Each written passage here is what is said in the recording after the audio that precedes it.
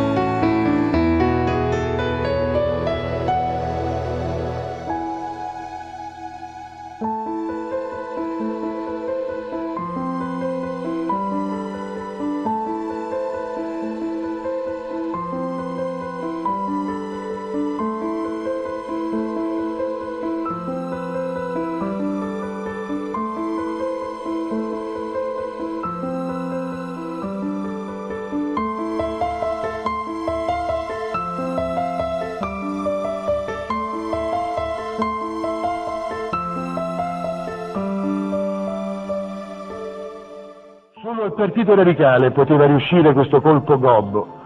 Solo un partito di 2000 iscritti ha la credibilità necessaria per invogliare tutti gli scommettitori a rischiare almeno una volta nel gioco della democrazia. È con questo spirito che ci siamo mossi dal carcere, per aderire a questa convenzione democratica, per rischiare il nostro e più di quanto abbiamo e forse anche più di quanto ci viene richiesto. Ci scrivono Maurice Bignani e Sergio Delia, per concludere. Siamo venuti qua per giurare sulla democrazia. Quel giuramento che un galantuomo un po' di tempo fa poneva inascoltato a fondamento di una vera pacificazione. Questo non è sicuramente un luogo deputato, qui non vi sono le basi granitiche della nostra democrazia.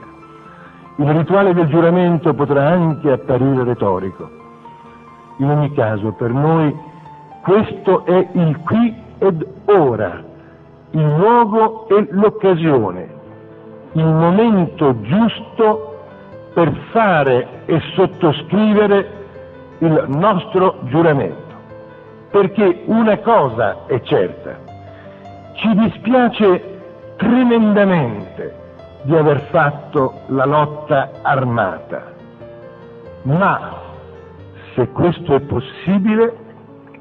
ci dispiace ancora di più di non aver fatto fin da subito la democrazia.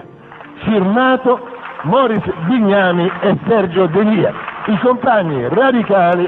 Vignani e Delia dal nostro carcere. L'incontro con Marco Pannella è sicuramente l'incontro con una storia che, fatte le debite e grandi differenze, cioè tra la violenza che aveva connotato la mia vita e, e la non violenza di Marco Pannella, però, come giustamente Marco Pannella mentre tutti ci consideravano i terroristi, i fascisti travestiti di rosso, eccetera, lui dice no, in realtà eh, violenti e non violenti, diceva Marco, sono fratelli, rivoluzionari gli uni e gli altri, i violenti per odio, i non violenti per amore, quello, quello che però in questo senso diceva sono fratelli, che li lega è la non rassegnazione, la non indifferenza, la passione politica lo stato delle cose. Insomma. Mio padre era un carabiniere, quindi per il lavoro che faceva girava in varie parti d'Italia, eh, per cui io nasco praticamente in una caserma dei carabinieri a Pontecorvo. Eh, ho alcuni ricordi della mia infanzia un po' che mi sono rimasti impressi. Di sicuro ricordo questo viaggio epico, la prima volta che salivo su una macchina. Mio padre aveva comprato la sua prima macchina, una Topolino grigia. Mi ricordo questo viaggio da Montecorvo a San Cassiano come se fosse ieri. Eh, c'ero io, mio fratello che ha un anno e mezzo più, più di me, eh, rannicchiati dietro, eh, mia madre e mio padre davanti che guidavano. Eh, vivo in realtà già a un anno e mezzo a San Cassiano per tutta la mia infanzia e anche l'adolescenza, fino a che non sono andato all'università a Firenze. E ricordo le, questa mia casa a San Cassiano, c'è tuttora, una strada, eh, la strada per Poggiato, sterrata, dove improvvisavamo da ragazzini le, partita a pallone, insomma, due porte con due sassi da una parte e dall'altra, e su questo enorme polverone ragazzini, potevano avere 7, 8 anni, mi ricordo che giocavamo a pallone anche la mattina presto prima di andare, prima di andare a scuola. E poi il mare, una cosa che un po' ha segnato la, la mia vita a Santa Cesarea dove arriviamo alla fine degli anni 50 dove padre costruisce la prima, il nucleo originario di una, di una casa e anche qui eh, insomma, per me le vacanze erano terribili perché significava la scuola finiva i primi di giugno e riprendeva i primi di ottobre quindi ero eh, tutto giugno, luglio, agosto, diciamo quattro mesi di, di sole, di mare che po' mi hanno segnato perché insomma ero magrissimo e attribuivo un po' al sole, al caldo e al mare la mia magrezza che è diventato anche un complesso. Eh, l'avrei rimpianto il mare molti anni dopo quando me lo sognavo in, in carcere, quando stavo, quando stavo in carcere. Santa Cesaria era questo per me, era il mare, il sole, ma anche questa magrezza terribile che mi, eh, proprio mi, mi ossessionava. E, e, anche qui sulla strada del mare allora sempre sterrata, insomma il calcio, il pallone un po' ha segnato la mia, la mia infanzia, la mia adolescenza, io ho giocato a calcio anche, dicono, a buoni livelli fino a, a fino direi all'altro ieri, ho smesso da 4-5 anni, e forse le partite più appassionanti più accanite, proprio ai limiti della rissa, sono quelle che ho fatto in carcere nelle situazioni più improbabili per, una, per, il gioco del calcio. Mi ricordo le partite che facevamo alle murate in un, io lo dico un campo, perché a calcio giocavamo lì, una sorta di triangolo eh, ricavato tra un braccio della sezione e, il, e, e era un, un carcere a raggiera, quindi due sezioni stavamo noi e poi erano chiuse dal muro di cinta. E lì con i miei compagni eravamo sotto processo a Chimaligna, giocavamo a pallone tutti i pomeriggi e si dava un appuntamento le guardie sul camminamento per vederci giocare perché non avevamo mai visto partite così accanite, eccetera, che si giocavano ai limiti della, contro le leggi della geometria, perché giocare a calcio in un campo triangolare credo che sia impossibile, per cui le due porte una in un angolo e l'altra nel, nel lato opposto del, di, questo, di, questo, triangolo. Ma poi, insomma, io uh, sceglievo il carcere nella misura in cui lo potessi scegliere, nel senso che speravo di finire in un carcere dove ci fosse almeno un campo di calcio, non dico con l'erba, non dico con le porte regolamentari e dimensioni regolamentari, ma quantomeno un campo dove si potesse giocare almeno 8 contro 8 e questo avvenne nell'ultima parte della mia carcerazione nel Bibbia dove si facevano vedere tutti i campionati di calcio, iniziava in contemporanea con il campionato nazionale di calcio e, e si confrontavano tutti i bracci. Ma al di là di molti che ancora ricordano della mia militanza politica come una militanza diciamo, nei gruppi estremisti, comunisti, no, io i primi due o tre anni eh, frequento un, un circolo anarchico, cioè, diciamo, la mia prima formazione politica eh, di tipo eh, anarchico era, era, un po' il eh, corrispondeva un po' al mio carattere. Io non ho mai amato insomma, eh, quelle che poi sarebbero diventate nella, non soltanto nella storia del comunismo, lo erano già state, no? i soviet, i tribunali del popolo, le carceri del popolo, poi le Brigate Rosse avevano mutuato questa eh, simbologia e questa strutturazione della loro lotta politica, no? per cui il sequestro, carcere del popolo, il processo del popolare, il tribunale del popolo. Insomma, io ero anarchico e fondamentalmente un po' anche nella parte seguente della mia militanza politica questo connotato originario è rimasto, tant'è che ho scelto di entrare nel gruppo meno marxista-leninista, prima potere operaio, poi senza tregua che era branca dell'autonomia dell'autonomia operaia, in fortissima polemica con l'ortodossia marxista leninista. Io ho letto una pagina del Capitale, ho letto una pagina di di Lenin, Stato e rivoluzione, non so neanche cosa sia. Insomma, i miei riferimenti letterari erano più, diciamo, quelli politici, erano le forme di guerriglia urbana, i Tupamaros in Uruguay, insomma, le forme di lotta armata meno, diciamo, legate alla tradizione sovietica, poi chiaro questi avevano rapporti con l'allora Unione, Unione, Sovietica, insomma, però diciamo, rispetto alle forme di, di lotta armata e di guerriglia dell'epoca, stiamo parlando di 30-35 anni fa, 40 anni fa, erano più queste forme di guerriglia metropolitana, oppure ancora più diciamo, la letteratura cinematografica statunitense, l'eterno conflitto fra guardie e ladri, insomma io ero in prima linea, andavamo ancora a vedere con i miei compagni appena usciva un film di Sam Peckinpah, Il mucchio selvaggio, credo che abbia più inciso sulla mia eh, diciamo, formazione culturale, poi ammantata di politica, avevamo già fondato prima linea, eh, più quei film, Gateway, quel pomeriggio di un giorno da cane, insomma storia di, storie di banditi antisistema che un po' nei, nei quali noi ci, ci immedesimavamo, insomma non erano certo i libri, tantomeno le esperienze del socialismo reale che avevano animato la nostra. Ero anarchico, forse libertario,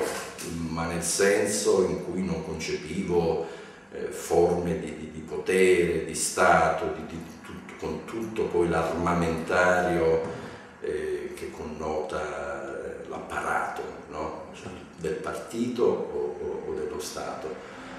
Certo, violento,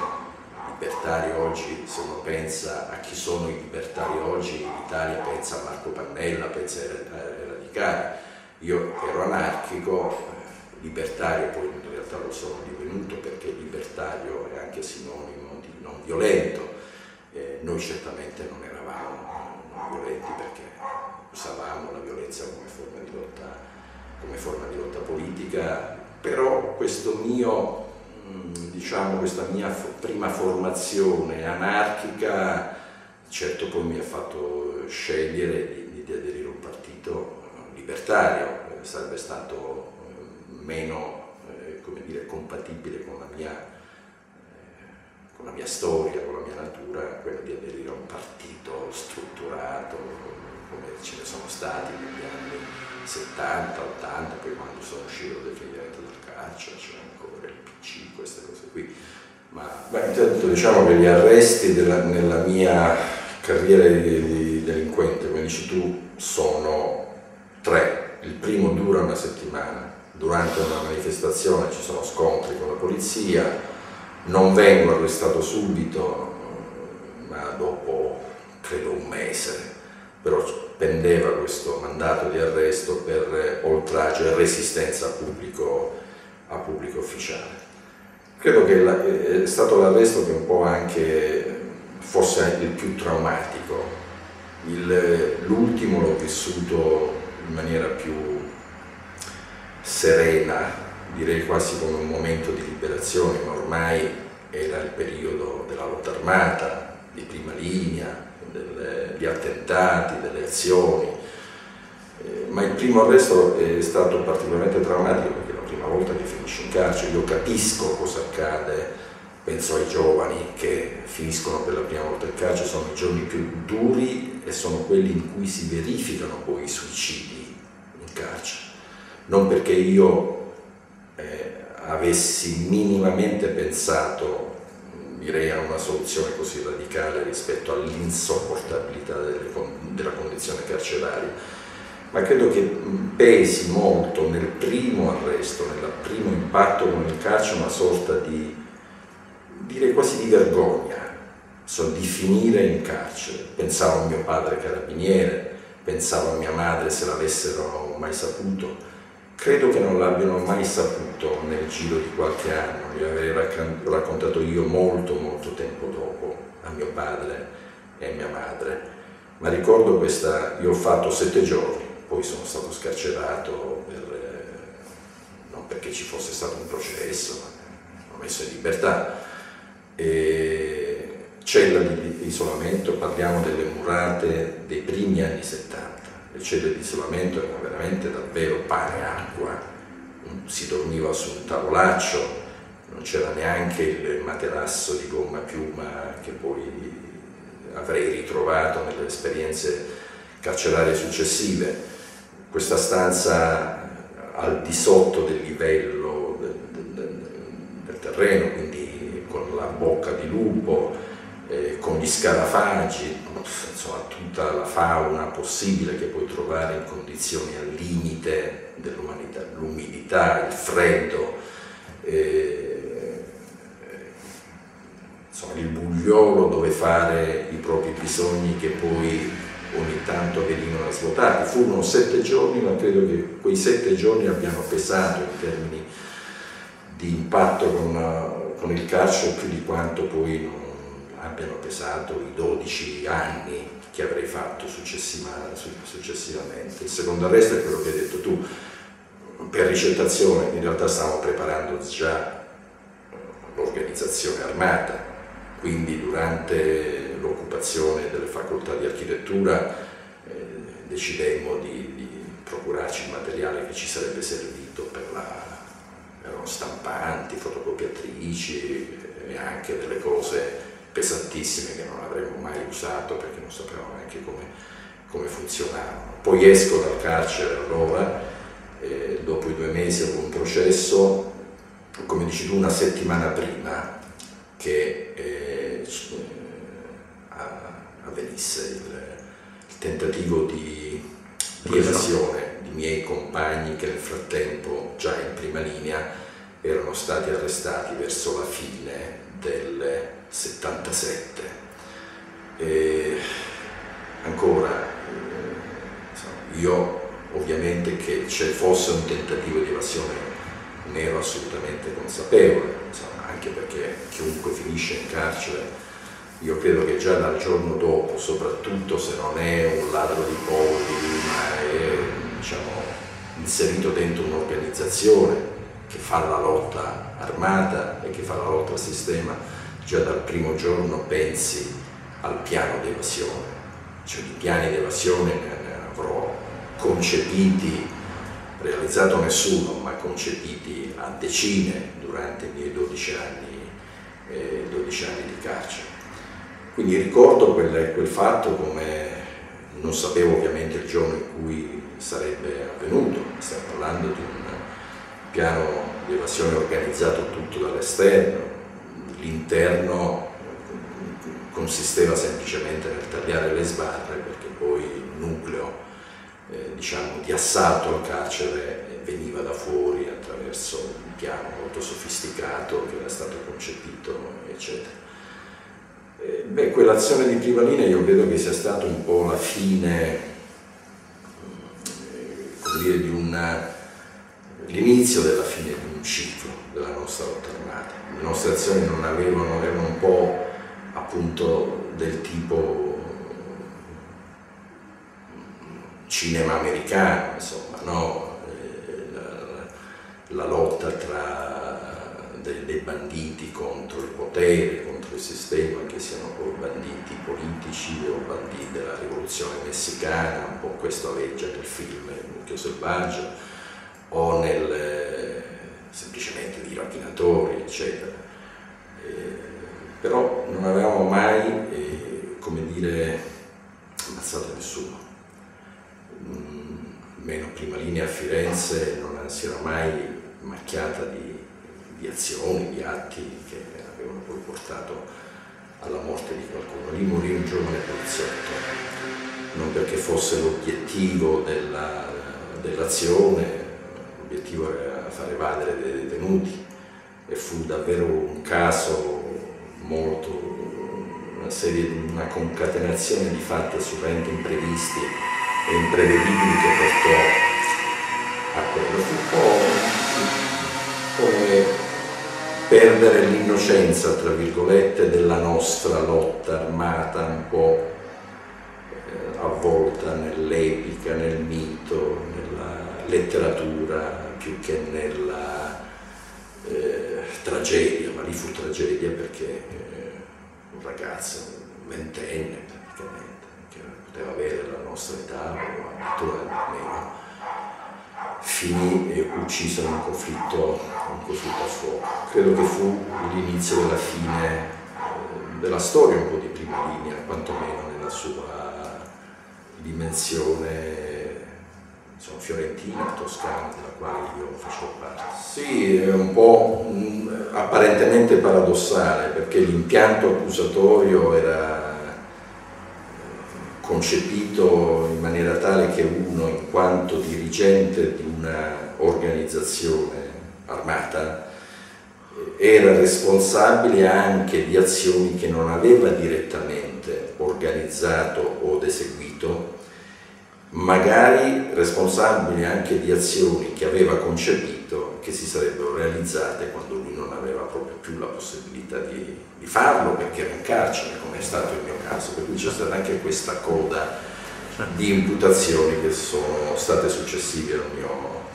al mio arresto. Certo, era maggio del 79. Ti aspettavi l'arresto? Guarda, io mi ricordo il giorno del mio arresto come, come se fosse davvero oggi era una giornata bellissima, tipica del maggio toscano, molto mite, non caldo ma sicuramente piacevole, insomma come solo a Firenze il maggio è. Una giornata eh, piena di luce, piena di sole. Io arrivo nel carcere delle Murate dopo una notte insonne, ovviamente passata nella questura, negli uffici della Diocesi di Firenze, ricordo quel momento come fosse davvero, io lo ripeto spesso, ma ne ho la consapevolezza eh, viva e la percezione viva come se fosse in questo momento di un momento di liberazione, diciamo, esternato, l'hanno arrestato, sta finendo in carcere, Beh, se uno considera quali erano state le settimane, i mesi precedenti quell'arresto, la mia vita, braccato perché ero latitante, eh, quindi ricercato dalla polizia, eh, costretto a cambiare posto dove dormire e quindi non dormire, poi le azioni, eh, una vita veramente al limite della sopportazione. Per me quel carcere, quella cella, ce l'ho qui davanti, presente, un spoglia proprio dire spartano, eh, già accennare un lusso per come era eh, sistemata. Arrivo lì, letto, classico letto piantato per terra delle sezioni di, di isolamento, materasso di gomma più macera, la, le lenzuola ruvide a strisce bianche, a strisce marroni della, dell'amministrazione e la coperta tipo militare, colore militare. Beh, io finito in quella cella credo che di aver dormito immediatamente e ininterrottamente per almeno 48 ore. È stato il sonno diciamo, più sereno e più direi, direi quasi ristoratore della mia vita, di quella vita che io fino a quel momento avevo, avevo vissuto. E, e quindi ho un ricordo bellissimo di quel giorno, del mio primo giorno alle murate di una carcerazione che poi sarebbe stata quella definitiva che avrei, avrei, avrei fatto per, non più per una settimana, prima, come il primo arresto, per due mesi come il secondo, ma per quasi 12 anni. Beh, eh, insomma, veniva usato, era uno stratagemma di tipo, non dico processuale, ma investigativo, posto che gli inquirenti avessero elementi su di me che già avrebbero potuto comportare l'associazione sovversiva, la, banda, la detenzione di armi, la banda armata, eccetera, loro sceglievano, eh, fine anni 70, inizio anni 80, così funzionava, eh, di contestare all'inizio solo un reato che aveva una scadenza termine associazione sovversiva, tre mesi, poi detenzione di armi sei mesi, poi banda armata altri sei mesi, insomma due o tre giorni prima della scadenza termine del primo reato ti contestavano il secondo per guadagnare altri sei mesi eh, di, di tempo, che era un tempo di indagine fondamentalmente, così per arrivare, per allungare i termini della carcerazione preventiva, cosa che oggi non è più possibile Oggi se risulta che gli elementi a tuo carico dei vari reati sono noti agli inquirenti già dal primo giorno dell'arresto, da lì parte la carcerazione preventiva. Hanno guadagnato il tempo che gli è stato utile, necessario, certo per le indagini, ma la svolta fu i primi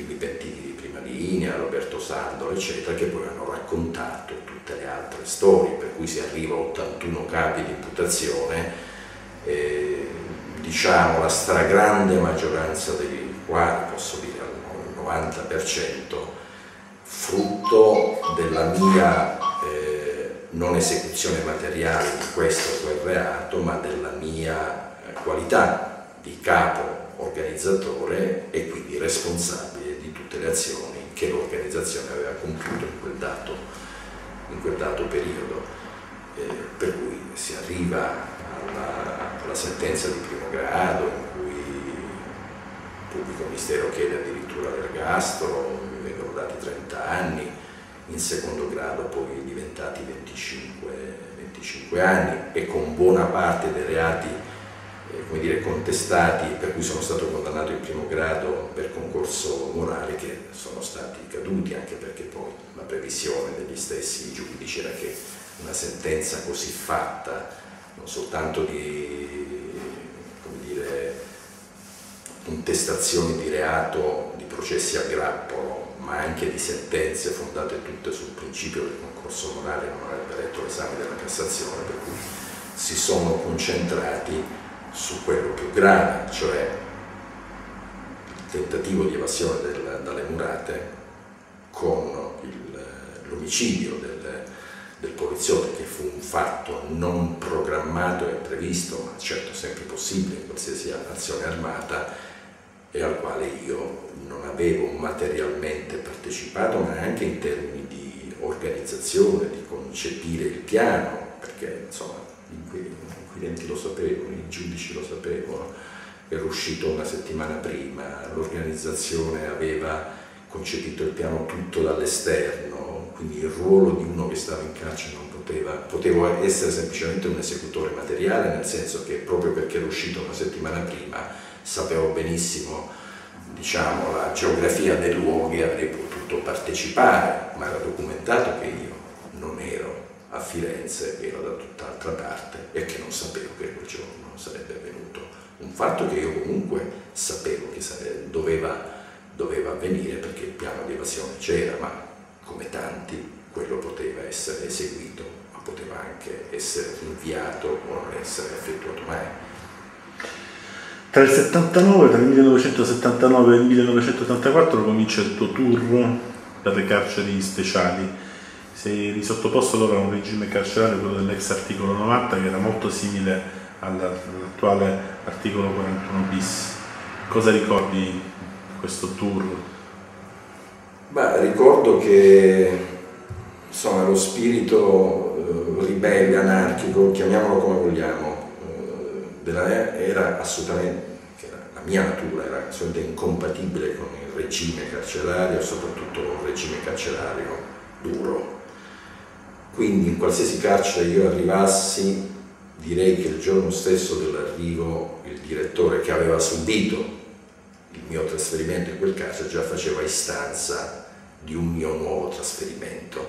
perché prima di me arrivava la fama di uno che comunque avrebbe creato casino in carcere. Quindi credo di averli girati quasi tutto, in tutte le carceri speciali di allora. E il periodo più lungo l'ho passato a Pianosa, carcere un po', davvero siamo un po' nella scenografia dei film di Sam Peckinpah, no? uno stile molto eh, direi sudamericano, eh, con palazzine basse, scrostate, eh, in lande desolate, il carcere dove la sezione Agrippa del carcere di, di Pianosa. Beh, io sono arrivato lì e già dal giorno dopo ho praticamente organizzato eh, diciamo, la lotta dei detenuti perché potessero vedersi tra di loro non solo a gruppi di 5-6 come era eh, autorizzato allora, ma a gruppi tali di un numero tale che consentisse almeno di, fare, di formare due squadre per giocare a pallone. Cioè qui ritorna sempre la mia passione anche calcistica. In ogni carcere io dovevo organizzare come minimo eh, una partita di calcio, la possibilità di giocare a calcio e siccome lì e, diciamo, i passeggi erano quadrati, quindi già la geometria favoriva il gioco del calcio, anche se i campi di calcio sono, come tutti sanno, rettangolari, ma già rispetto al triangolo il quadrato eh, favoriva. Però il problema qual era? C'erano tre sezioni da, le cui finestre davano sul relativo passeggio dell'aria, uno usciva, quindi andavano in quel passeggio gli eh, occupanti delle tre celle che affacciavano su quel c'erano due persone per ogni cella, quindi ci ritrovavamo a giocare a pallone 3 contro 3 con magari uno di 50 anni, 70 anni o uno che eh, non so, invalido, che sarebbe impossibile. Quindi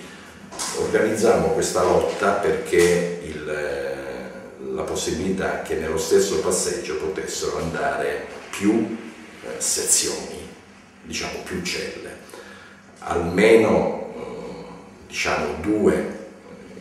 gruppi di celle, quindi una dozzina di persone, a volte nelle celle c'erano tre persone, quindi si poteva arrivare a 15, fu una lotta terribile quella che è durata non tantissimo, come mobilitazione, che cosa consisteva? Arrivava il cibo dell'amministrazione, lo buttavamo nel corridoio, eccetera.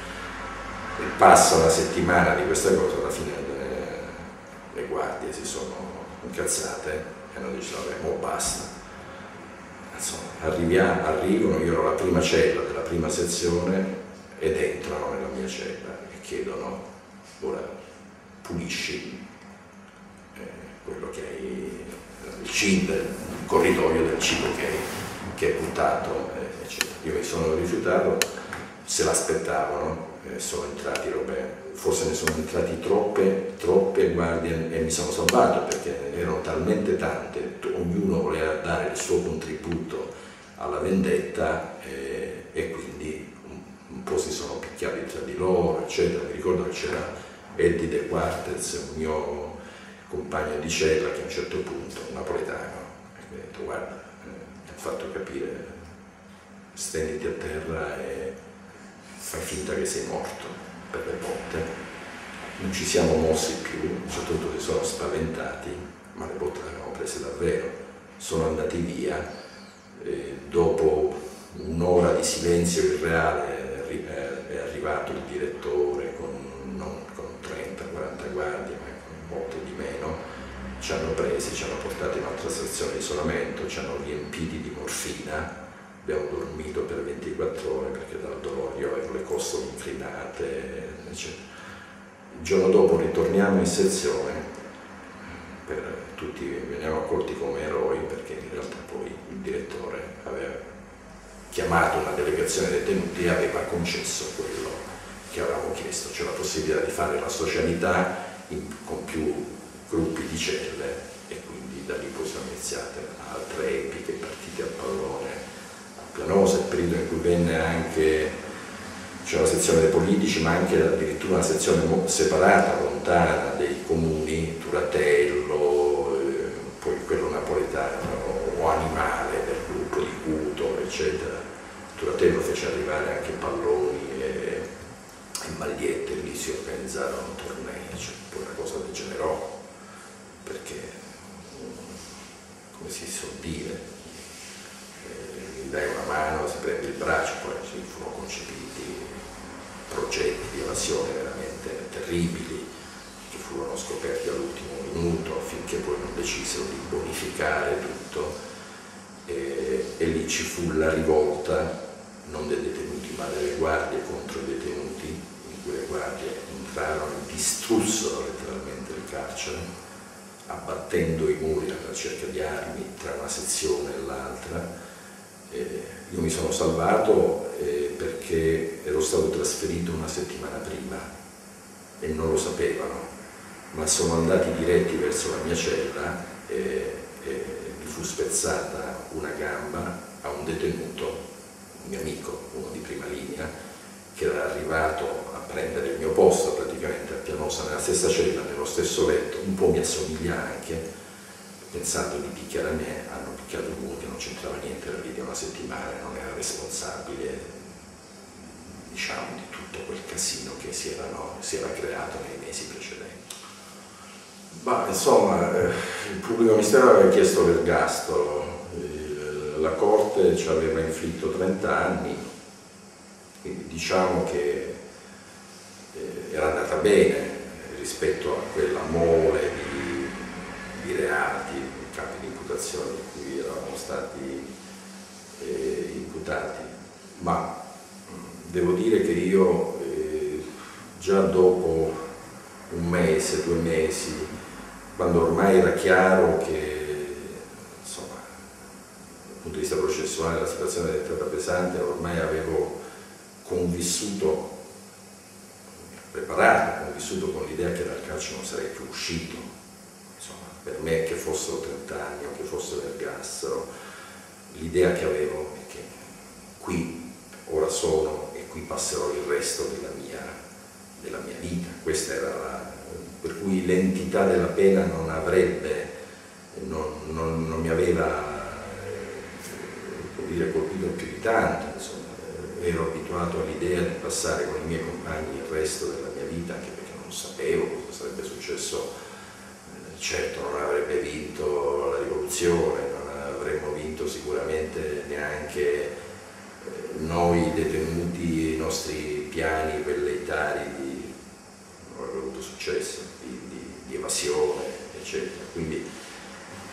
il carcere è un po' così, insomma, è, è un, luogo che eh, se tu ci stai un pochino più del dovuto, eh, come dire, ti si eh, chiude addosso e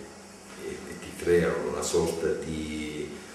microsistema nel quale uno vive, si abitua a convivere e pensa che quella sia la sua, la sua vita. Questo era il sentimento con cui ho, ho accolto quella, quella, quella sentenza, un sentimento che è durato per molti anni, finché poi non è iniziato un, un processo che insomma, gli osservatori chiamano di dissociazione dal terrorismo, una, una parola che io non ho mai usato, a differenza di molti miei compagni che andavano fieri di questo, insomma, già il termine in sé di dissociazione non mi, non mi convinceva. Di fatto io, già dai primi anni Ottanta, già il primo processo in cui veniamo condannati a, quelle pene, eh, essendo un processo, maxi processo, dove c'erano 50-60 persone, non soltanto i fiorentini, ma anche per, in virtù del meccanismo, no? del concorso morale, responsabili nazionali di prima linea, di cose, eccetera. Anche perché l'azione più grave, quella del tentativo di assalto alle, alle murate, è stata fatta tutta dal nucleo esterno, quindi fu un processo che per noi fu un congresso. Ci trovavamo per la vo prima volta nello stesso carcere 50-60 persone, praticamente tutto lo Stato Maggiore, non solo, anche minore di prima linea, e lì cominciamo a discutere. Alla fine di quel processo cominciarono a uscire dei nostri documenti buona sostanza, anche se non ancora dal punto di vista formale, dichiaravamo chiusa l'esperienza della lotta armata, in particolare della lotta cosa che poi sarebbe fatta nel processo successivo a Torino, un altro maxi processo cui io ero imputato, eh, dove poi furono concepiti, elaborati e resi pubblici i primi documenti di, eh, compagni chiamavano di dissociazione politica dal terrorismo, io preferivo dire semplicemente di rottura, di soluzione di continuità di una storia. No? E, e tutti gli anni successivi, quindi parliamo dall'82, 83, 84, 85, 86, prima della legge della, della, sulla dissociazione che arriva credo nell'87. Eh, quindi tutto questo percorso poi i giudici riconosceranno di fatto essere un percorso di dissociazione politica dal terrorismo, anche il mio personale, sebbene io non avessi firmato un documento formale, però già eh, le mie prese di posizione a livello individuale, in sede nei processi successivi, ma già nel, in quello di primo, di primo grado noi non, praticamente non avevamo avvocati, avevamo un avvocato di, di ufficio che, al quale noi non davamo mano, insomma, lui tentava di limitare i danni della nostra cosa, ma io non ho letto una carta del processo io vengo condannato a 30 anni, ma poi in appello a 25, senza aver mai letto le carte del processo, ho contestato questa o quella accusa. No, io quel giorno non c'ero, cioè, non ho mai detto nulla. Io ho cominciato a leggere le carte del processo nel 2006, cioè praticamente dopo quasi 25 anni dei fatti dopo la vicenda della mia elezione alla Camera dei Deputati, nell'ufficio di presidenza, allora lì ho scoperto delle cose veramente incredibili. Se uno avesse deciso di difendersi nel processo, uno non sarebbe stato condannato conoscendo i fatti, ammettendo quello che ha realmente fatto e le cose che invece rispetto alle quali non, non c'entrava nulla, eccetera. Ma eh, eppure io in quel processo l'unica dichiarazione, resi dichiarazioni spontanee per dire semplicemente io sono un responsabile di prima linea, sono un dirigente di prima linea, mi assumo la responsabilità di tutto quello che la mia organizzazione ha compiuto in questo territorio,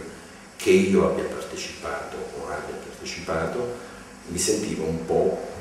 vesti, nella veste effettiva di quello che ero, tutto quello che era avvenuto, in qualche modo lo sapevo, o l'avevo deciso, o l'avevo effettuato, quindi non facciamo la lista della spesa di tutto quello, io eh, mi assumo la responsabilità politica di tutto quello che ho fatto. Loro hanno tradotto questa mia dichiarazione di assunzione di responsabilità politica, eh, una sorta di responsabilità penale, però è un cortocircuito tra diciamo, le leggi della politica e le leggi dello Stato del diritto, del processo. È una sentenza che ha retto poi negli anni e per l'aspetto più grave, che era quello dove io poco davvero avevo contribuito a che avvenisse, eh, condannato in via, in via definitiva anche in Cassazione, anche un po' l'obiettivo del, del,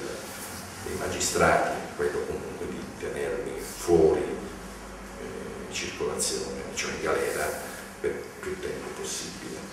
Però non sto a recriminare, non, non ho nessuna intenzione di fare revisioni dei processi, non, non credo che sia neanche giusto perché io sono veramente convinto delle mie responsabilità, di aver scelto di fare invece che la lotta democratica, la lotta non violenta, era possibile.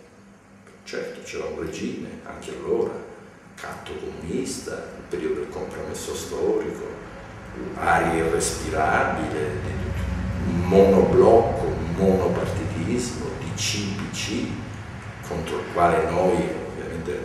però non era solo la lotta armata, la violenza, l'alternativa a quel regime erano gli anni in cui i radicali, Marco Pannella, il Partito Radicale facevano i referendum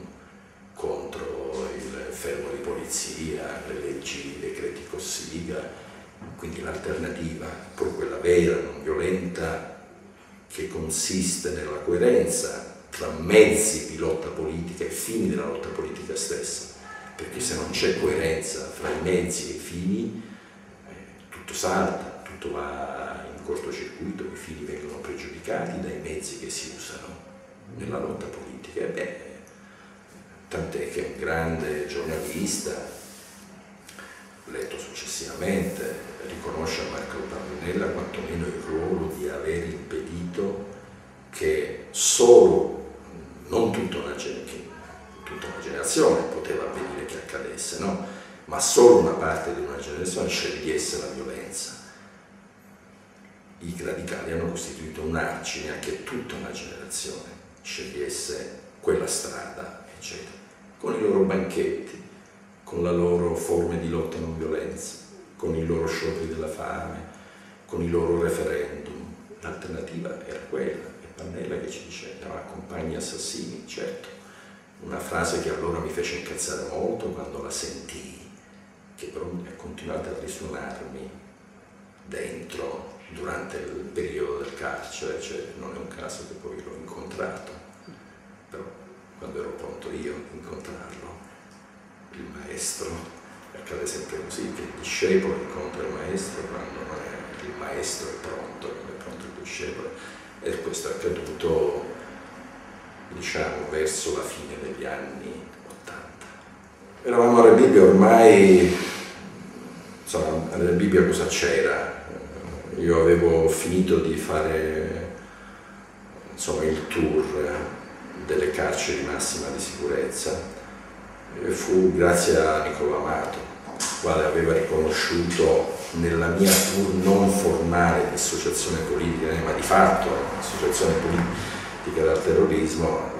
forse il fatto più genuino, perché uno in termini organizzati, collettivi, con tutti che firmano lo stesso documento, poteva esserci anche un elemento di opportunismo, eccetera. Invece il mio è stato un percorso solitario, virgolette, di dissociazione. Allora, Nicola Amato che ha scoperto che ero rimasto a Bergamo mentre tutti i miei compagni erano finiti nell'area omogenea dei dissociati di Rebibbia nel 2005, insomma, e lì che cosa ci fa ancora il carcere in massima sicurezza a Bergamo? Leggo le sue cose perché c'è la censura, eccetera se questo non è uno che ha rotto completamente definitivamente, senza cercare neanche la, la scorciatoia no? del collettivo, del movimento collettivo eh, di dissociazione. E un bel giorno decise che no, non sarei più ritornato, non so, era previsto tornassi a Nuoro, ho detto no, a Rebibbia. E a Rebibbia arrivo nel 2005, già nel 2006 insomma i radicali venivano a trovare, mi, mi ricordo. L'86? Nell'86 con Marco, con Adelaide Alietti. Il primo incontro con Marco Pannella fu proprio in carcere? Fu proprio in carcere. perché ci eravamo iscritti, nel, c'era la campagna dello show del Partito Radicale, obiettivo 5.000 iscritti entro la fine dell'86, poi rilanciato a 10, altri 10.000 entro la seconda sessione del congresso del Partito Radicale che sarebbe tenuto a fine febbraio, fine di marzo. Ci scrivevamo in 50, insomma organizzai io insieme a Maurice Bignami, eh, Rocco Martino, Ciro Longo, la raccolta de, delle iscrizioni. Ne facevamo una cinquantina. Non andavo al congresso dell'86 prima sessione credo fosse a novembre o dicembre, credo novembre come al solito, dell'86, eh, ma mandammo una lettera che Marco Pannella lesse durante, durante, il congresso. Sarei andato alla seconda sessione, per la prima volta io ottengo un permesso premio per uscire dal che sia la prima in assoluto di un permesso concesso al magistrato di sorveglianza, non per motivi familiari, non per diciamo, di solito buona condotta per questo premio significa che vai 4, 5, massimo 7 giorni in, eh, fuori dai tuoi, dalla tua famiglia. No, me lo concesse perché io partecipassi alla eh, sessione del congresso CIFO del Partito Radicale. Quindi arrivai in questa sala piena, non so, penso ci fossero 1.500-2.000 persone, la sala principale delle arcife Oggi vogliamo offrirvi qualcosa di più.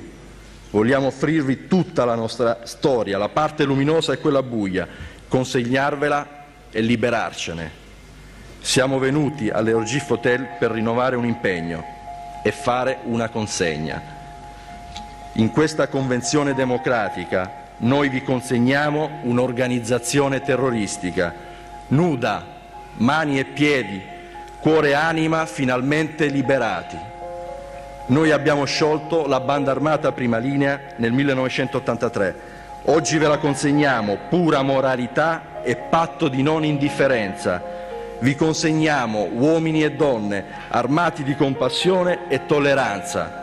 per tornare a vivere e lottare con le ragioni e nelle speranze del partito della vita e della non violenza.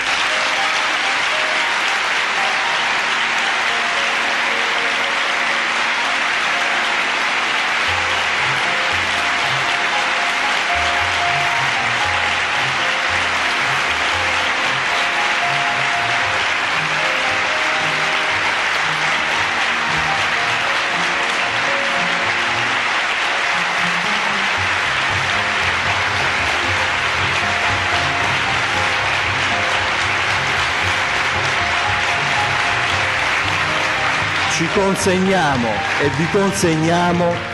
Sergio Seggio e Susanna Ronconi, Roberto Rosso e Liviana Tosi, Nico Solimano e Barbara Graglia, Ciro Longa e Alba Donata Magnani, Salvatore Carpentieri ed Elvira Arcidiacono, Paolo Cornaglia e Federico Alfieri, Paolo Zambianchi e Adriano Roccazzella, Bruno Russo Palombi e Ernesto Grasso, Roberto Marrone e Raffaele Iannelli, Marco Solimano e Luca Frassineti, Nando Cessaroni e Zazà Palmieri, Roberto Vitelli, Giancarlo Scotoni, Fausto Madei, infine Maria Teresa Conti. Io personalmente vi consegno Maurice Bignami, lui al, posto, al mio posto avrebbe, mi avrebbe consegnato. Vi consegniamo prima linea, però vogliamo un riscatto. Vi abbiamo offerto disposizione dello spirito e piena dedizione. Da voi ci aspettiamo un dono più grande, ci aspettiamo una tecnica della speranza e della non violenza,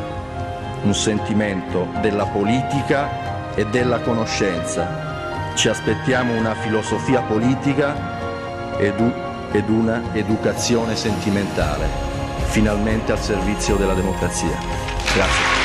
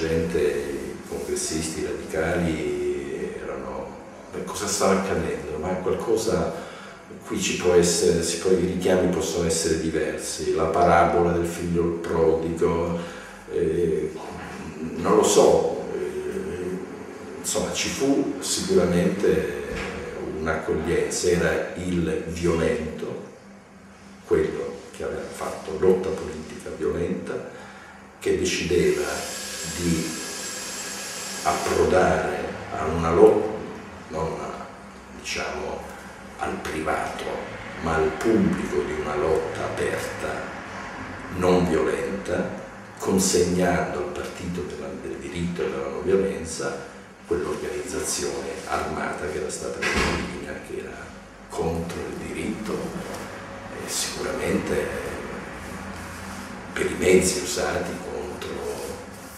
i fondamenti della vita civile, della vita eh, democratica, eccetera. Al congresso ci dovevo andare e ci andai. Sì, scrivemmo questo appello, si aprì un dibattito, credo, sul manifesto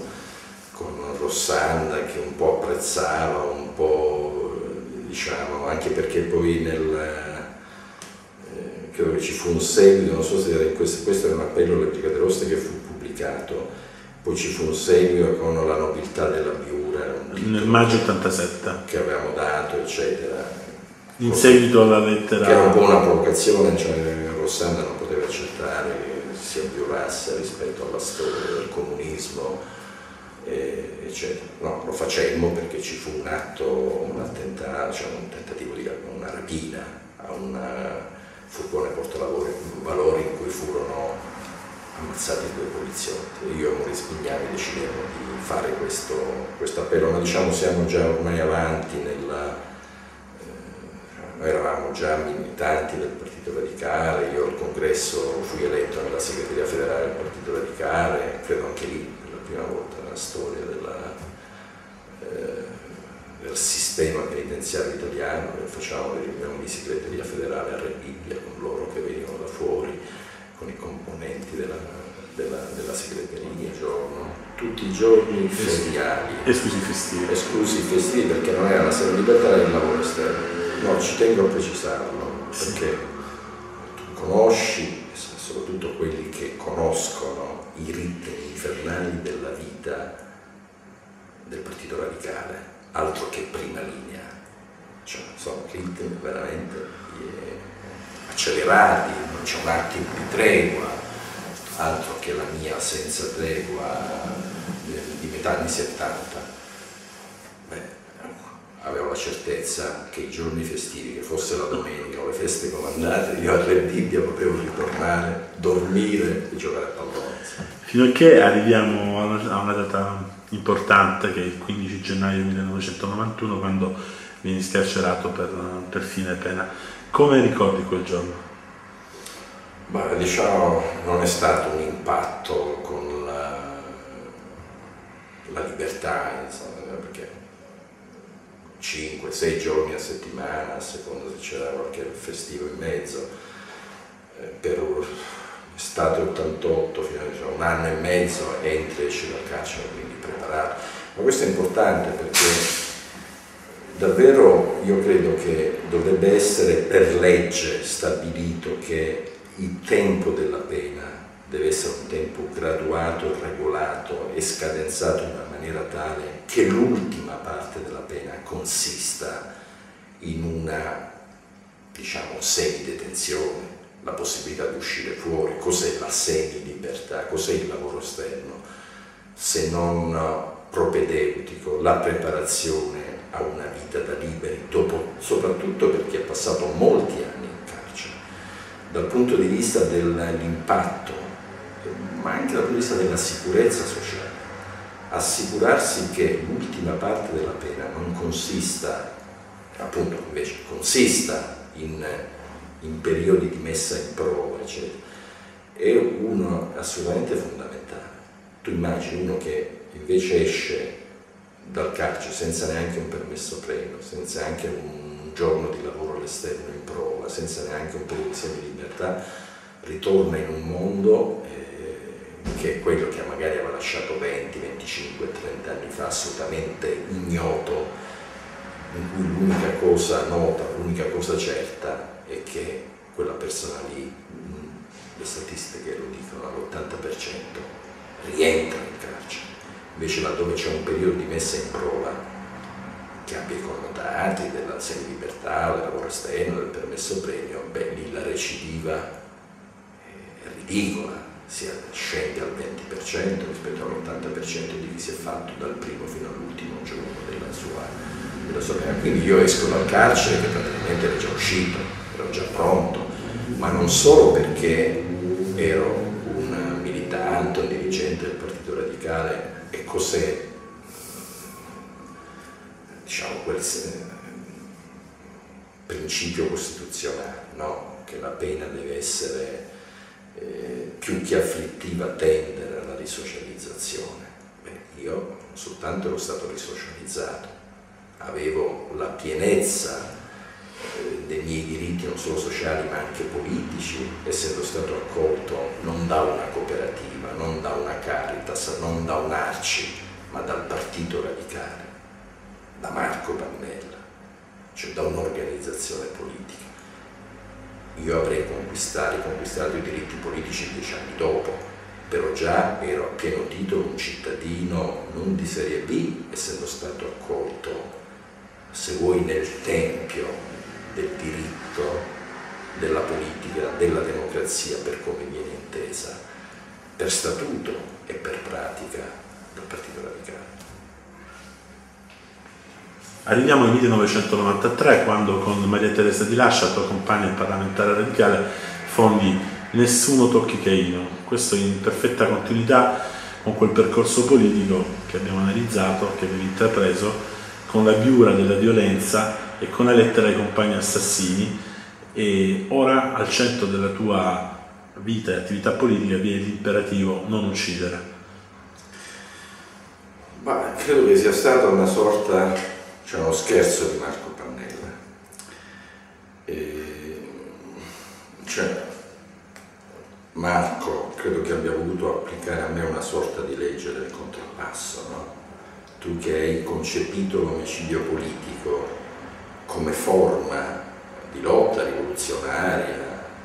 che è nell'orizzonte della nostra eh, del nostro progetto rivoluzionario, no? uccidere il nemico, quindi non come avrebbe fatto Marco, dialogare innanzitutto con il nemico per, non tanto per cambiarlo, ma perché il nemico risultasse, fosse, fosse portato a una dimensione umana, ma soprattutto del diritto, cioè del rispetto da parte sua innanzitutto, soprattutto se è uomo di potere, delle regole, dello Stato di diritto, degli impegni propri del potere, del potere pubblico. Tu che hai concepito l'omicidio politico come forma di lotta, beh, ora ti impegni in una lotta perché sia cancellato l'omicidio politico per eccellenza, no? l'esecuzione capitale, il fare giustizia da parte di una comunità, da parte di uno Stato rispetto alla gravità del reato, eccetera. Quindi la campagna contro la pena di morte che nasce prima di Nessuno tocchi Caino, perché già all'inizio degli anni 90, 91, 92, eh, Marco affidò a me, a Maria Teresa di Lascia, la campagna perché non venissero giustiziati i golpisti che tentarono di rovesciare eh, Gorbaciov, Ruskov, Kasbulatov, che hanno tentato un colpo di Stato contro la perestroica, per intenderci, e, e che rischiavano la pena di morte. Io eh, cominciai a raccogliere insieme a Maria Teresa firme di premi Nobel, parlamentari di tutto il mondo e quella campagna fu vincente perché poi Gorbaciov, la vittima di quel colpo, tentato colpo di Stato, decise di non procedere con un processo capitale nei confronti dei colpisti e fu vincente quella lotta. Allora da lì insieme a Marco concepimmo una lotta più diciamo, di lunga durata, eh, ma anche a tempo, un tempo ben preciso preciso, entro il 2000 la moratoria delle esecuzioni, delle esecuzioni capitali. E, e quindi fondammo, fondammo nessuno, nessuno tocchicheino, che era se vuoi un po' la mia seconda vita. Io Caino lo ero stato e, e grazie a Marco, grazie al Partito Radicale, insomma, mi fu data l'occasione per una seconda vita all'insegna appunto del rispetto dello Stato di diritto, della non violenza, dei diritti, dei diritti umani. È il modo che lui ha concepito perché eh, io in qualche modo riparassi agli errori o ai fatti o ai misfatti della mia prima vita con una seconda vita che poi è durata ormai un quarto di secolo all'insegna invece del soccorso, eh, certamente laddove vi erano vittime dei diritti umani, perché non c'è soltanto stata la campagna contro la pena di morte in questo ultimo quarto di secolo della mia vita, ma anche per l'affermazione di diritti fondamentali laddove venivano violati in qualsiasi parte del mondo. Il mio passare al Partito Radicale, direi a tempo pieno, dalla mattina alla sera, è stato il modo con cui ho dato corpo a questa seconda fase della mia storia della mia, della mia vita. E fu una, secondo me come soltanto Marco a volte sa concepire, no? cioè nelle persone, vedere nelle persone sempre la parte migliore che esiste, non esistono i cattivi e i buoni, c'è qualcosa di cattivo, non li nomi c'è qualcosa di buono, si tratta sempre di, far, di valorizzare, di far crescere la parte, tra virgolette, buona, ma nel senso di creativa, di creativa del nuovo, di creativa di nuove possibilità, di nuova umanità. E questo è il senso della campagna di Nessuno Tocchicheino che io ho condotto per il Partito Radicale,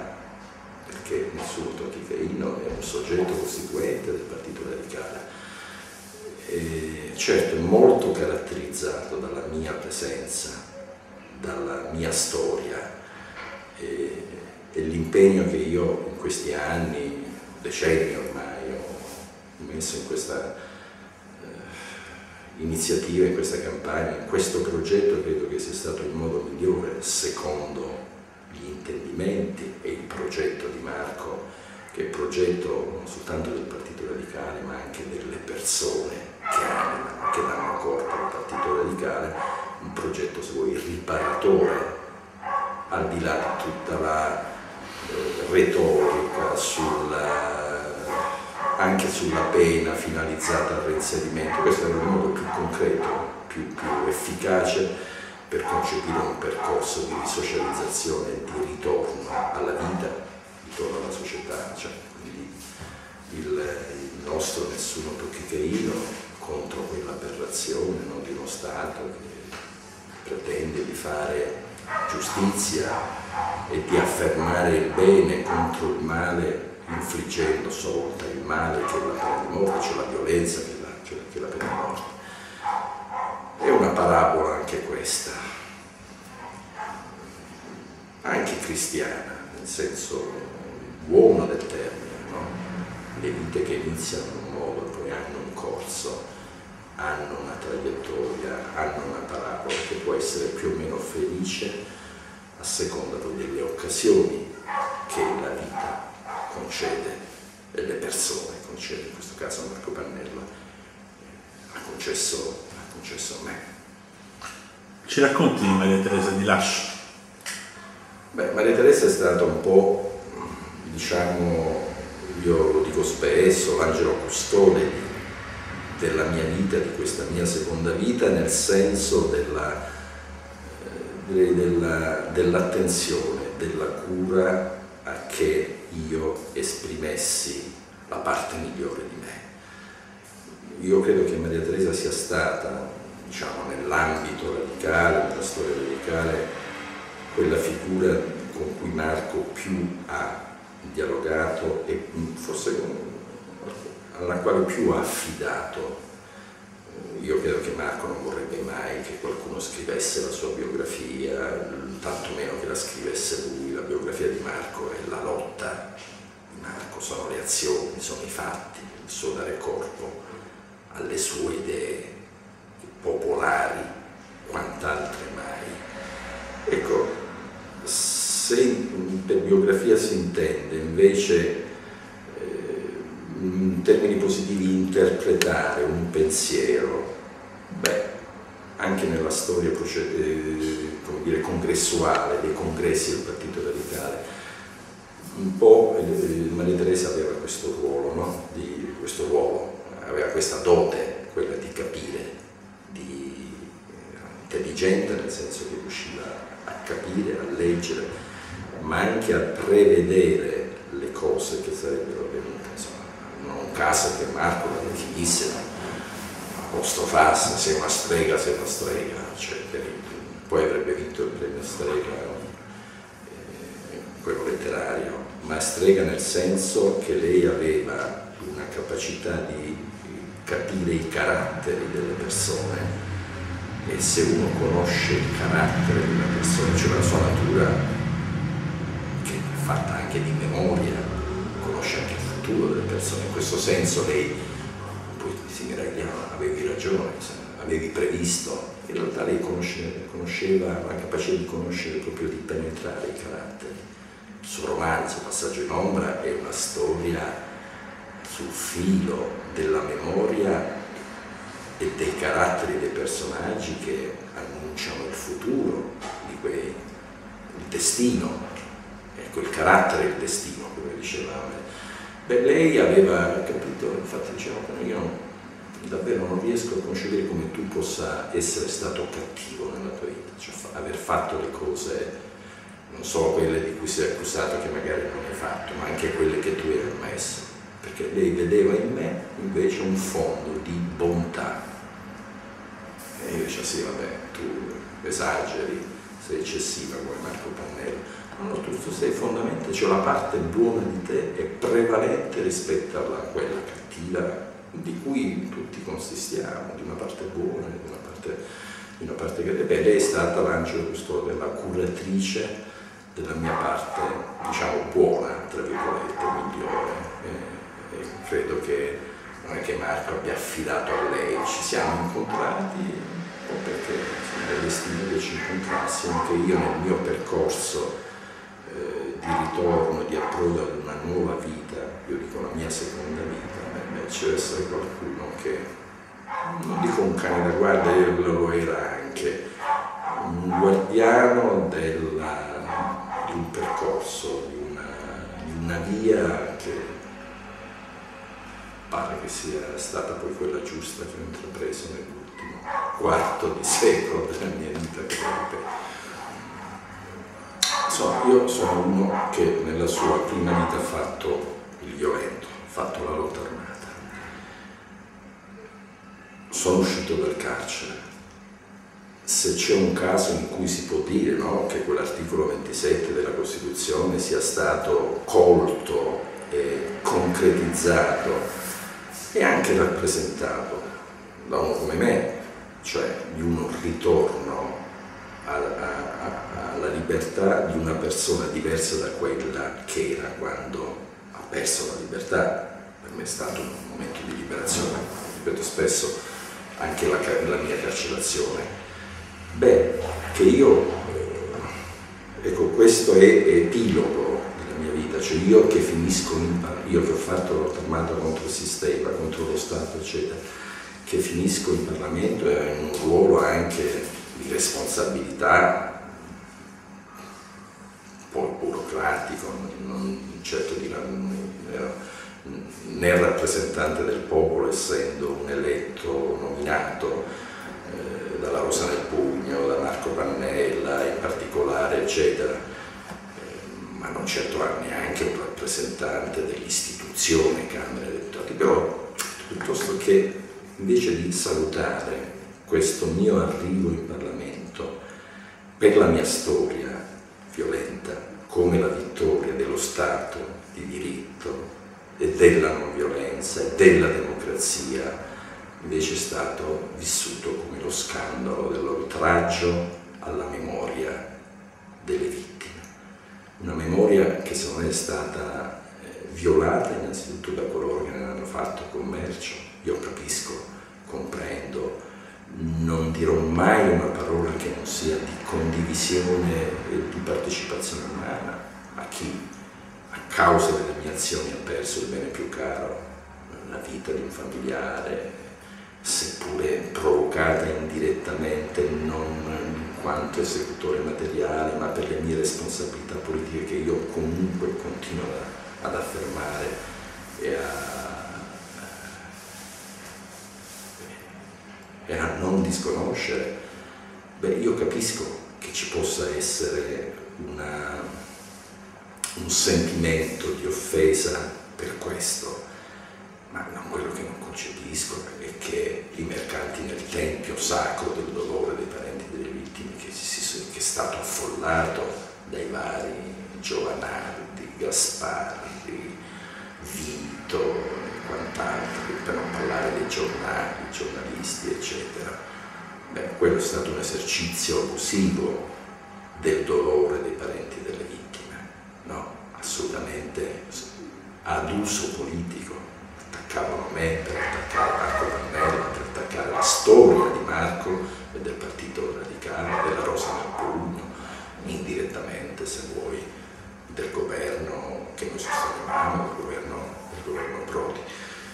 Eh, però io sono stato lì eh, secondo proprio cognizione, con cognizione di causa, progetto di Marco Pannella perché io rappresentassi il detenuto ignoto, no? essendo io quello noto, mentre il detenuto ignoto è quello che per il solo fatto di aver passato un anno, un giorno, dieci anni, trent'anni in carcere, spiata la pena, tornato fuori in libertà, non ha diritti civili, non ha diritti politici, costretto alla clandestinità, non ha la possibilità di trovare un lavoro, costretto a nascondersi rispetto a quello che è stato, e cioè in carcere, no? e, e qui per il solo fatto appunto di essere marchiato da questa esperienza, tu sei stato in carcere. Poi io lì, in quel posto, la Camera rappresentava un po' anche questa situazione la situazione di coloro i quali, avendo passato una parte della loro vita in carcere, ecco, vengono segnati per quello. Se tu non cambierai mai perché sei stato in carcere. Invece no, io posso, posso essere dire, il testimone diciamo, più evidente, più, più chiaro di una possibilità che il carcere non sia soltanto un luogo di perdizione, di suicidio, eh, di depravazione, di disperazione, ma anche il luogo in cui si possa coltivare la speranza di un'uscita fuori dal carcere di una persona diversa da quella che era quando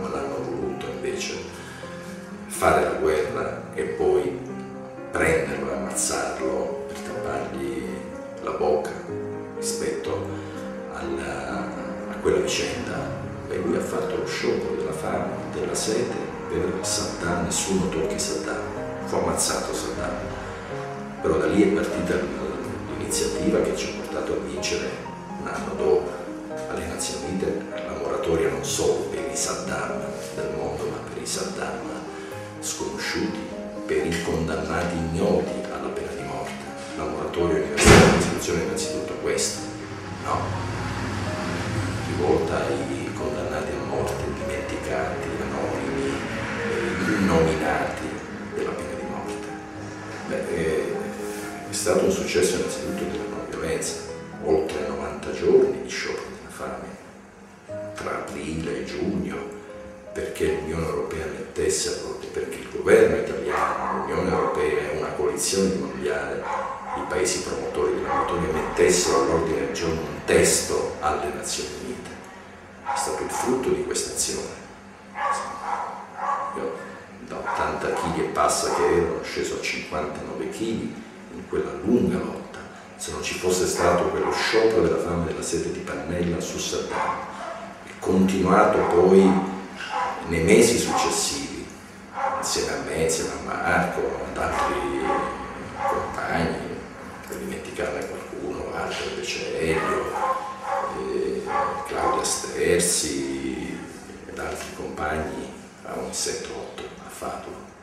Beh, fu messa al voto e, e fu ottenuto il risultato che noi da almeno 12 anni ritenevamo possibile, probabile, documentato e che nessuno voleva riconoscere.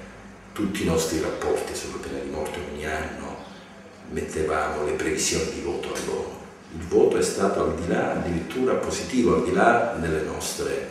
stesse previsioni. Fu una vittoria anche del governo italiano, di D'Alema, che non ci credeva. E a un certo punto si è convinto che ce la potevamo fare, ci sono stati durissimi scontri in cui io ero alla Camera dei Deputati, in aula, nella Commissione Esteri, quando non voleva il governo italiano, la Lega, mettere all'ordine del giorno una cosa. Siamo riusciti a convincere, ecco appunto, non scagliare il proprio corpo contro il nemico, l'omicidio politico o la distruzione dell'avversario, ma il convincere, di vincere insieme ad altri, insieme. Noi lo abbiamo convinto Prodi molto prima di D'Alema. Poi quando abbiamo convinto D'Alema possiamo dire di aver convinto tutte le Nazioni Unite, tant'è che quel voto c'è stato. Fu, lo ha riconosciuto anche D'Alema, perché ci fu il voto, io ero a New York, proprio seduto accanto a lui mentre si votava, ho fatto subito un collegamento con la radicale a Roma, di via di Torre Argentina, c'erano l'assemblea, le radicali che seguiva in tempo reale, l'evoluzione del voto all'ONU, non riuscì a parlare, talmente emozionato, rompeva la voce, non riuscivo a parlare attraverso la radio radicale per dire come stava, come stava andando, ma li seguivano la diretta attraverso la web tv delle Nazioni Unite e sapevano cosa era successo. Da lei fece la conferenza stampa dopo il voto. C'era anche Sant'Egidio, gli ho detto no, Sergio, tu accanto a me,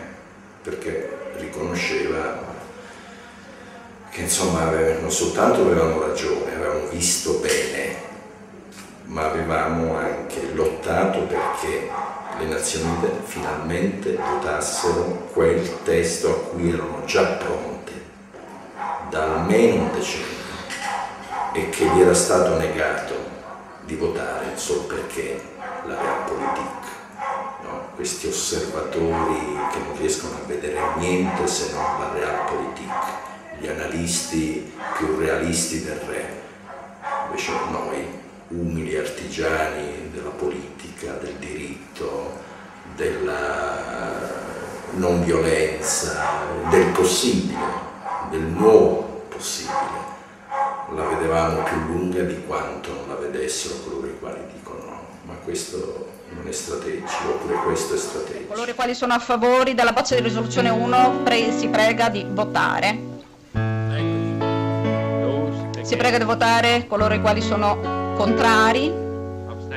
e gli astensioni.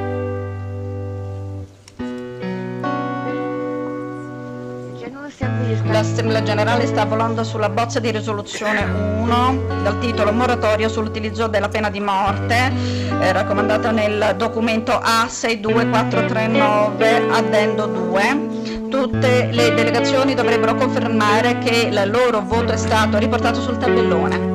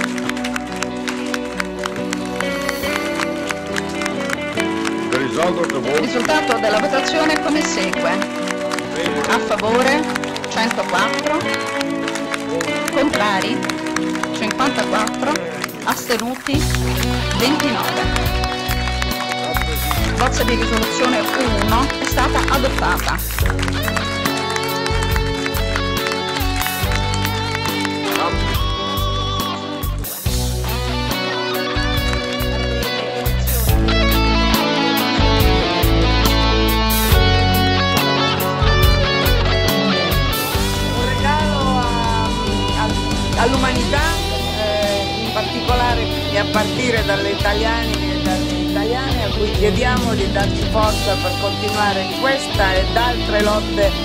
necessarie nel mondo. Credo che la nostra cocciutaggine abbia premiato, credo che la determinazione del governo, il fare sistema tutti insieme eh, mobilitando chi ha corso, chi ha cantato, chi ha votato, chi ha promosso al Parlamento europeo, chi è andato in delegazione, chi è andato in Giappone, chi è andato ovunque, credo abbia dimostrato tre cose, la persistenza, la determinazione, fare sistema, marciare uniti e la flessibilità senza essere rigidi, quindi senza ideologie, ma per i valori che vogliamo tutti conquistare. Credo che sia un buon Natale per le italiane e gli italiani, spero che lo sia, gesto di speranza anche per coloro che aspettano nei vari corridoi della morte la pena di morte a cui ridare forse un po' di speranza, senza speranza non si può vivere, credo questo nessuno di noi. A tutti gli amici e compagni e non solo, vecchi e nuovi, giovani e anziani, però giovani di spirito, un grazie credo, eh, non solo da parte mia,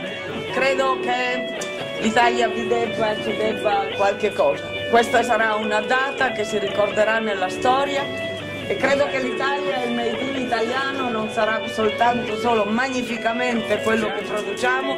ma anche le idee, i valori e le lotte che sappiamo fare con la non violenza a fianco delle istituzioni. Grazie mille, grazie a tutti. Però adesso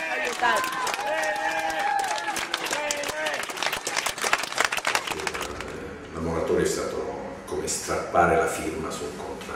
la firma dei Paesi membri delle Nazioni Unite, a partire dai co-sponsor, da quelli che hanno votato a favore, ma anche da quelli che non si sono opposti con l'astensione, hanno partecipato al voto. Ecco, passare dalla firma di quel contratto al contratto vero, alla sua applicazione, tutto il nostro progetto è che in Africa, in Medio Oriente, grazie anche a quello che sta accadendo a livello politico e sociale in Medio Oriente, ma soprattutto in Estremo Oriente dove c'è la parte più dura, irriducibile dei paesi boia, ecco che non più quello che Marco Pannella, Sergio Delia, Emma Bonino, il Partito Radicale, nessuno tocchicheino chiedono, ma quello che le Nazioni Unite chiedono, moratoria dell'esecuzione, no?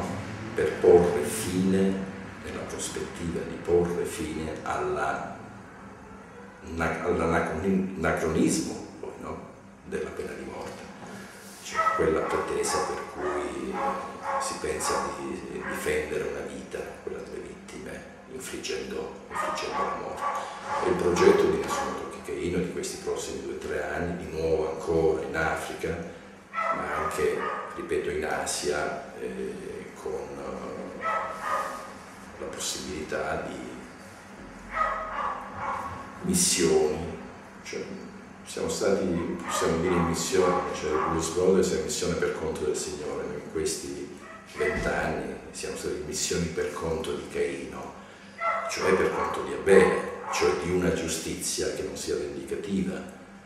e cioè di una giustizia che nel momento in cui si compie non perde le ragioni della propria diversità rispetto a Caino, al reato, ai comportamenti, alla violenza compiuta. questo è il senso della nostra azione. Io credo che in posti apparentemente fino ad oggi inaccessibili invece ci si può entrare. Intanto le esecuzioni in Cina diminuiscono di anno in anno, è il frutto anche della nostra campagna per la moratoria.